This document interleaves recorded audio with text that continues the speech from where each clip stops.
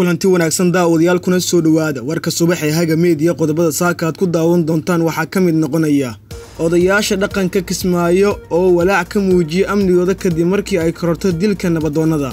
madaxweynaha hirshabeelle oo bixiyey magta taliyihii booliiska ee gobolka hiiraan ee la dilay. Nise oo shaqadii ka ceelisay xubno ka mid ahaa sirdoonka soomaaliya. Xildhibaanada golaha shacabka oo maanta shir xasaasi ah ku leh magaalada muqdisho xukuumadda soomaaliya oo war ka soo saartay doorashada xildhibaanada galmudug iyo taraam oo tallaabo la yaab la qaaday.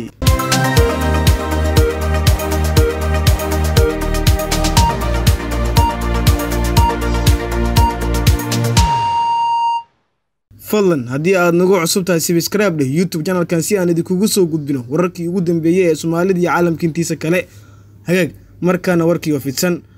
waxaa isa soo taraya walaaca ku saabsan xaaladda amni ee magaalada kismaayo ee gobolka jubbada hoose. Kadib markii ay kordheen dilalka dadka ka soo jeeda dowlad goboleedka jubbaland gaar ahaan nabadoonnada lagu geysanaya magaalada kismaayo. Qaar ka mid a odayaasha dhaqanka jubbaland ayaa sheegay inay soo wajahday xaalad adag oo dhanka amniga islamarkaana aysan ku sii sugnaan karin kismaayo. Ilaa iyo intay ka imaanayso xaaladda dad ay ku cabiraan aragtida islamarkaana lala xiriiriyo xorriyatul qowlka oo dhibaatooyin ay ka imaanayaan madaxtooyada jubbaland laba ka mid ah waxgaradka kismaayo oo aan magacooda qarina ayaa inoo xaqiijiyay inay ka fikirayaan sida ay kismaayo uga soo bixi lahaayeen maalmaha soo aadan sida ay qorsheynayaan maadaama dilalka nabadoonnada ay kordheen xalin halkaasi nabadoon lagu dilay. Sidoo kale odayaasha ayaa noo sheegay inaysan sahlaneyn kabixitaanka jubbaland ee odayaasha in muqdisho ay soo aadaan laakiin sida ay ku qaadataba ay imaan doonaan maalmihii la soo dhaafay kismaayo waxaa ka taagnaa xaaladda cabsi ah iyo dilal la fulinayo oo kooxa bisolada ku hubaysan ay fulinayaan islamarkaana loo deysanaya nabadoonnada. Sidoo kale kismaayo waxaa ka taagan kala aragtiduwanaansho ku aadan qaabka loo soo xulaya xildhibaanada cusub ee jubbaland kaas oo keentay inay dareen ku abuurto dadka isbeddel doonka ah. Walaacan ay qabaan odayaasha ayaa imaanaya kadib markii xalay nin nabadoona lagu dilay bartamaha magaalada islamarkaasina la dhaawacay laba qof kale oo isaga la socday. Ciidamada amniga baaritaano ayay sameeyey hase yeeshee cid ay soo qabtay ma aysan sheegin. Madaxweynaha maamulka hirshabeelle maxamed cabdi waare ayaa bixiyey diyada taliyihii qeybta booliiska gobolka hiiraan gaashaanla dhexe maxamed mucow oo dhowaan lagu dilay dagaal ka dhacay deegaanka kalabeer ee gobolkaasi taliyaha ayaa ku dhintay iskahorimaad dhexmar ciidamo ka wada tirsan maamulka hirshabeelle iyo maleeshiya taabacsan guddoomiyaha xilka laga qaaday ee yuusuf axmed hagar dabageed. Sida ay ogaatay warbaahinta warkan aan ka soo sheegnayn madaxweyne waare ayaa shalay bixiyey diyada marxuumka waxaanu ku wareejiyey odayaal ka socda ehladiisa dhinaca kale wararka ka imaanaya magaalada beledweyne ayaa ku soo waramaya inay fashilmeen kulamo ka socda magaalada oo lagu xalinayay xiisada maamulka ee ka taagan gobolka hiiraan ee bartamaha soomaaliya kulamadan oo ay wadeen odayaasha dhaqanka xildhibaano iyo wasiiro laguna dhexdhexaadinayay hirshabeelle iyo yuusufdabageed ayaa la sheegay in lagu kala booday.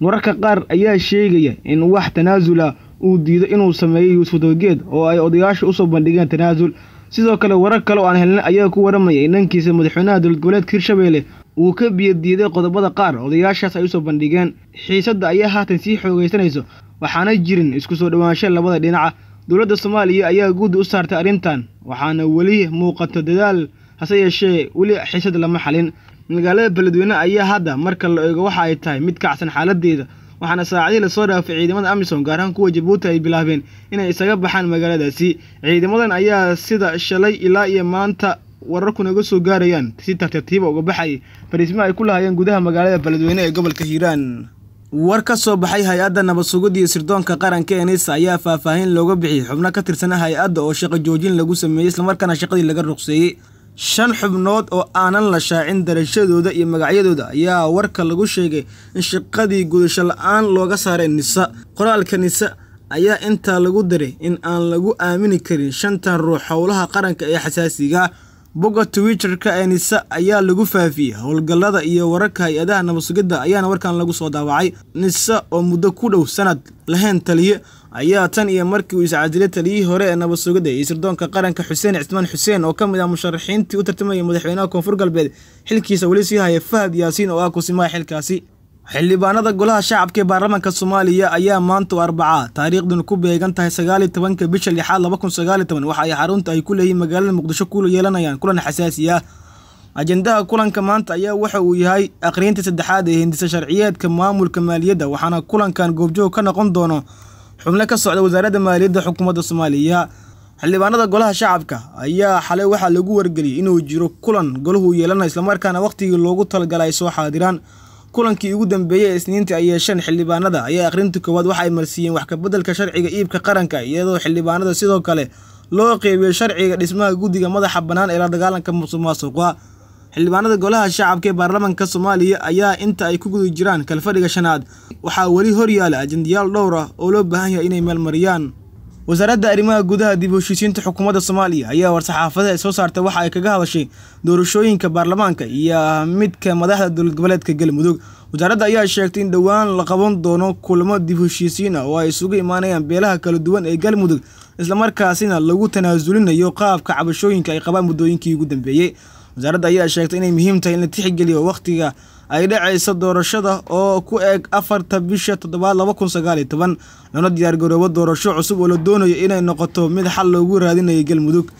wasaaradda arrimaha gudaha federaalka iyo dib heshiisiinta xukuumadda soomaaliya oo gudanaysa waajibaadkeeda dastuuriga kana hirgelinaysa doorashooyinka baarlamaanada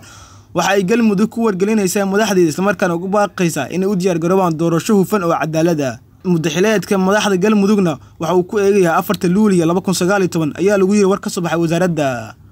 Fadlan haddii aad nagu cusub tahay sibiskraabdhe youtube janalkan si aan idinkugu soo gudbino wararkii ugu dambeeyey ee soomaalida iyo caalamka intiisa kale hagaag markaana qodobkii dibadda. Madaxweynaha maraykanka donald trump ayaa xalay waxa uu magaalada orlanda ee gobolka florida ka bilaabay ololihiisa doorashada ee tartanka sanadka labaatan labaatan. Madaxweynaha ayaa ka hor hadlay boqolaal dad ah oo fagaaraha isugu soo baxay madaxweyne trump ayaa tartami doona haddii uu ka soo baxo tiro u tartamayso oo labaatan gaaraysa xisbiga dimuqraadiga ee dalkaasi. Dhinaca kale waxaa soo baxaya ra'yi aruurin laga sameeyey oo muujinaysa in gobollada qaar ay madaxweynaha